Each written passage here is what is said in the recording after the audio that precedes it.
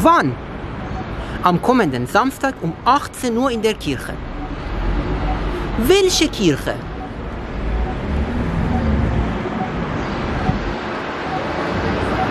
Welche Kirche?